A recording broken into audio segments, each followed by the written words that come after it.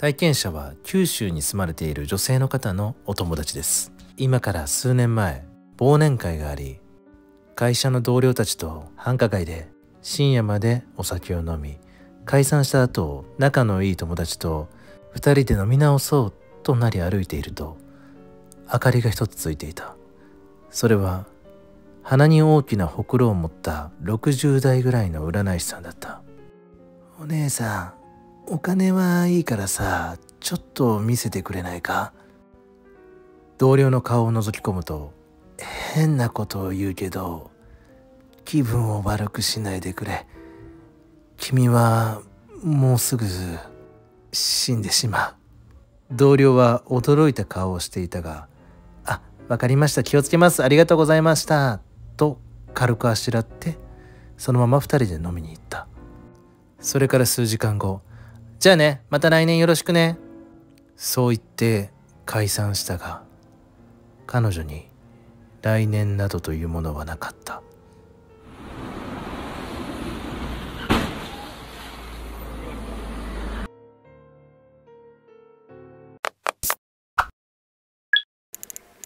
どうも、不遇男です。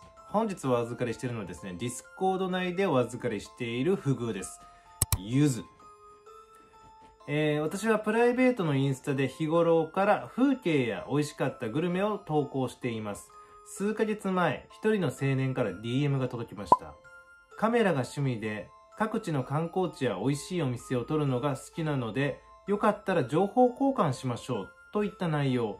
私自身も情報収集が好きですし、旅先の情報なども欲しいので、何通かやり取りしていました。彼からの質問で、ちなみに僕は26歳なのですが、おいくつですか？と聞かれました。私は、26歳、若いですね。私は34です。と返信しました。すると、それからすぐ既読になり、今日まで一向に返事がありません。これはもしかして彼にとって私の年齢が何か不都合でもあったのでしょうか？ギリギリ昭和生まれ、誇りを持って生きております。自ら出会いを求めたりとかしてるわけではなく、ナンパしたわけでもないのに、振られた気分です。微妙に傷ついた出会い中のお話でした。不遇。いや、これも年齢はね、致し方がない。みんな、年取っていくんだから。あるよね SNS とかやってたら僕もやっぱりねあのー以前よくありましたよそういう DM 的な感じとかで普通に僕演者なんで、まあ、僕の顔とかはさ分かるやんかだからちょっと気に入ってくれたりとかすると連絡先交換してくれませんかとかお友達になってくれませんかとかそういうのが結構来たりしてたんです。若い頃はね。うん。今は来ないですけれども若い頃はあったんですよ。多少なりともね。でその中でまあ、自分の自己紹介みたいなの書いてあってその後に顔は写ってないんですけれども結構セクシーめの写真が1枚添付されて送られてきたんですよ。でやっぱ男の子なんで。え？っちょっと反応してしまうわけですよ。え？っろって。でも別にそういうねなんか脱いでるとからの状態とかではないんですけれどもちょうどいいエロさを持っている写真を1枚添付されたんですよ。ちょっと既読ってつくんですかねあれ。俺いまいち分かってないんですけれども Twitter の DM って。見てたら「見てますね」って来たのよ。ドキッてして。なんでバレたんだろう。と思ってたらその後すぐに行って顔と続きが見たいならば連絡先を交換しましょうっていうの。でスルーしたんですよ。でスルーして数日後「あ返事もらえないんですね分かりました」っていうのが来たんですよ DM まあ、そこまでいったらさなんかなんかどんな子なんだろうとか気になるやんか。でちょっとページ入ってみてその子のとこ見たら「マジ国沢っていうやつきしょいんだけど」って入ってました。僕もなんか微妙に振られた気持ちになりました。あんたしょうもない女に引っかかったら眼球ぶっこ抜くよ。はい。こんばんは。今週も始まりました「ゴートークルームショー」のお時間です。えこの番組では毎回ゲストをお呼びしお話を伺っていく番組となっております。え今週もね前回に引き続き神戸香織先生にお越しいただきました。神戸香織先生よろしくお願いします。はーい。香織先生あの今週キャラ3万になっております。何が聞きたいの？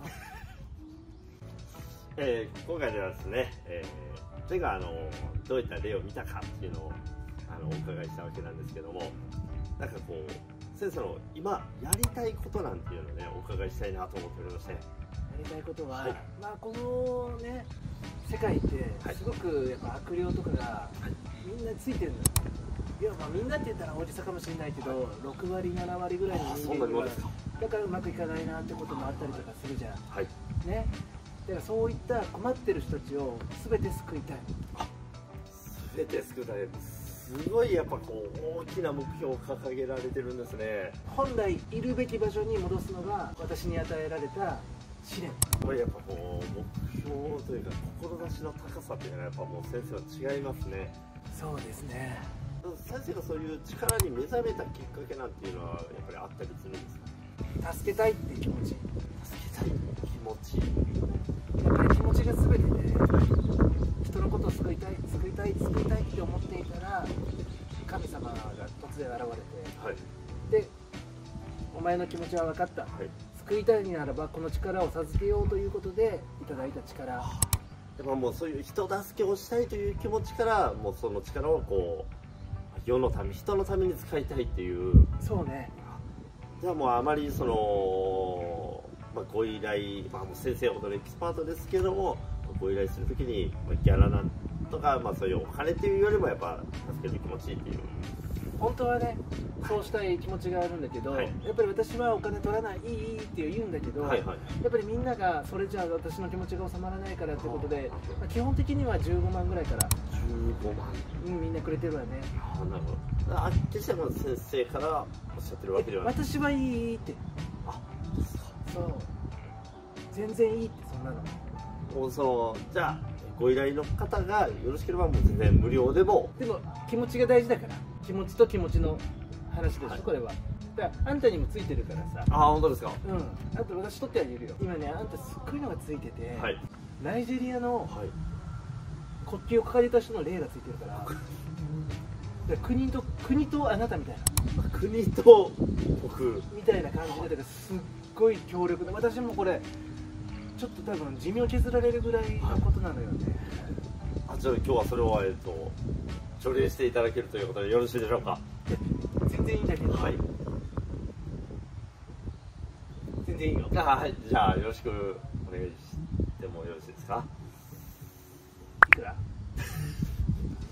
や えっ、と今回はね。こここカットするからいくら？いやえー、これがえあの、まあ、お気持ち。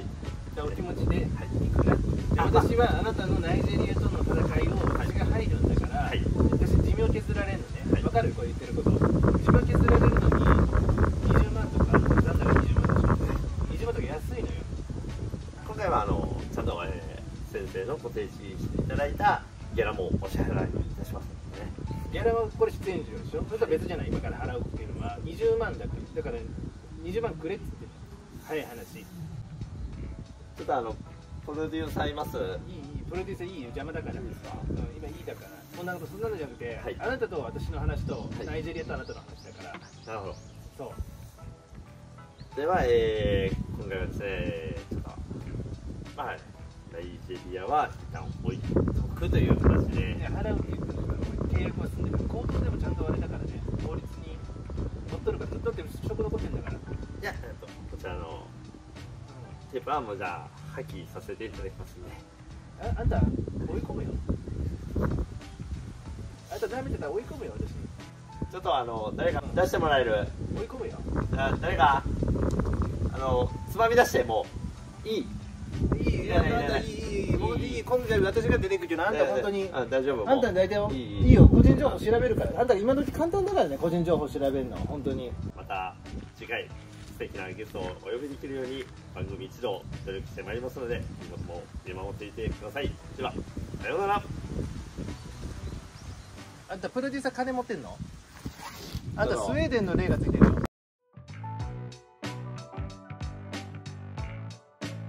えー皆様最後まで国の時間をご覧いただきましてありがとうございました。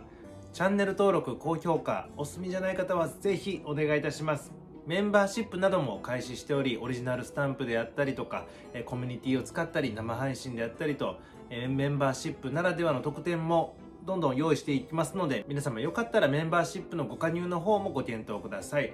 それではまたお会いしましょう。ありがとうございました。